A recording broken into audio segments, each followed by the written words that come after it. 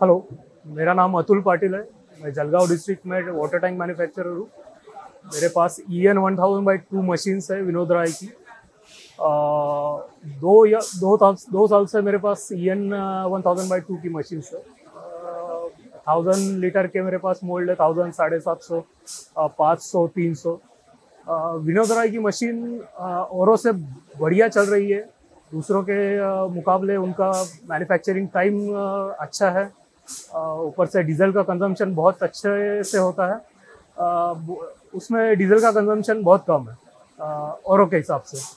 और water tank में सबसे मेन होता है वाटर टैंक की क्वालिटी तो क्वालिटी अगर आपको चाहिए होती है इक्वल सब जगह से अगर आपको वाटर टैंक का डेंसिटी अच्छा चाहिए तो विनोद राय की मशीन बहुत बढ़िया है उसमें।